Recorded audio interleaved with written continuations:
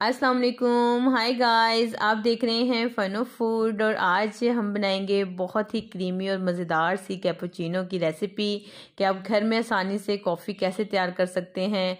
आप सिर्फ़ दो मिनट लगेंगे, दो मिनट से ज़्यादा नहीं लगेंगे यकीन माने और ढेर सारी कॉफ़ी आप घर में बना कर तैयार कर कर फ्रिज में रख सकते हैं, पूरा हफ़्ता इंजॉय करें। तो रहीम इसे तैयार करने का तरीका बहुत ही सिंपल और आसान है। यहाँ मैंने ले लिया है ग्राइंडर का जग और इसमें मैंने डाल दी है कॉफ़ी। तो कॉफ़ी मैंने ली है तीन टेबल स्पून और इसमें जाएगी जो चीनी है, ये है छः टेबल स्पून यानी कि कॉफ़ी से डबल आपने चीनी लेनी है। अगर आपके पास शाशे हैं तो आपने तीन शाशे लेने हैं कॉफ़ी के और छः टेबल स्पून में चीनी डाल लेनी है। और सिंपल आपने क्या करना है, दस सेकंड के लिए इसको ग्राइंड करेंगे। तो जो चीनी है और कॉफ़ी है, इसका अच्छा सा पाउडर बन के तैयार हो जाएगा। पहले हमने इसका पाउडर पीस लेना है ऐसे। अब हम इसमें डालेंगे बर्फ़ के क्यूब्स सिर्फ़ तीन से चार क्यूब्स डालेंगे, छोटे साइज़ के हैं। तो आपने तीन से चार क्यूब्स लेने हैं। अगर क्यूब्स बड़े हैं तो दो भी काफ़ी होंगे। और बस हमने अब इसको फिर से ग्राइंड कर लेना है पल्स मूड पे। ऐसे खोलते बंद करते हुए।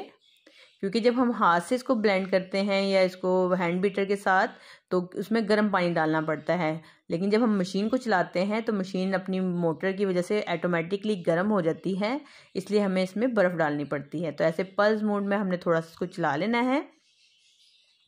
तो यहाँ देखें, बर्फ़ जो है वो अच्छे से क्रश हो गई है। इसे एक मरतबा साइड में साफ़ कर लें। उसमें मज़ीद दो से तीन क्यूब्स मैंने डाल दिए हैं। और अगर आपके पास, मैं फिर दोबारा से कह रही हूँ, बड़े क्यूब्स हैं तो दो ही डालने हैं, ज़्यादा पतली नहीं करनी हमने। और फिर आपने ऐसे रोकते हुए, बंद करते हुए पर्स मोड में दोबारा से मशीन को चला लेना है। जो जग पे आपको ओस नज़र आ रही है, ये ख़त्म होनी चाहिए। इतनी देर हमने इसको मशीन को चलाना है। तो एक मिनट तो मैंने इसको पल्स मोड में चलाया है और मज़ीद एक मिनट में आपको इसको पंद्रह सेकंड चला के फिर रोक लेना है, फिर पंद्रह सेकंड चलाना है और फिर रोक लेना है। टोटल दो मिनट लगेंगे आपको, ठीक है? तो ये देखें बड़ी ही क्रीमी और लाइट एंड फ्लफ़ी सी जो कॉफ़ी है बन के तैयार है और कितना सिंपल और आसान तरीका है। कोई आपको हाथ थकाने की ज़रूरत नहीं है।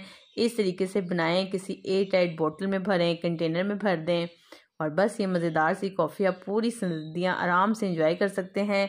जब ख़त्म हो जाए, इसी तरीके से दोबारा ब्लेंड करें और फिर फ्रिज में रख दें। अब यहाँ पे हम कॉफ़ी बनाने का तरीका मैं बता देती हूँ। तो अगर एक कप आप बना रहे हैं, छोटा कप है तो दो टेबल स्पून इसमें काफ़ी है। अगर आप ज़्यादा स्ट्रॉन्ग पीते हैं तो आप इसको बढ़ा भी सकते हैं और इसमें डालेंगे हम गर्मा गर्म दूध।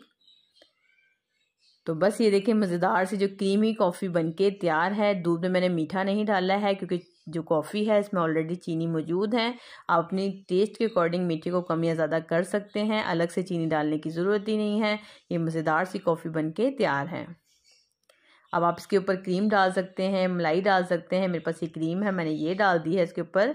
अगर आपके पास घर की जो मलाई होती है, वो भी फेंट के डाल सकते हैं, वो भी बिल्कुल आपको क्रीमी फ्लेवर देगी। ऊपर से आप इसके ऊपर क्या, कोको पाउडर छिड़क दें। ये देखिए, मज़ेदार सी जो कैपुचिनो है, वो बन के तैयार हैं।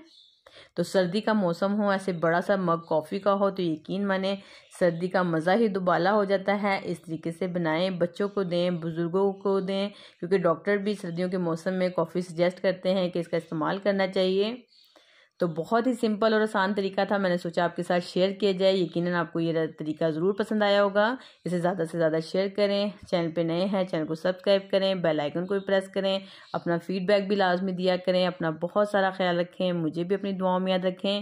मिलती हूँ नेक्स्ट वीडियो में। अल्लाह हाफिज़। Bye bye.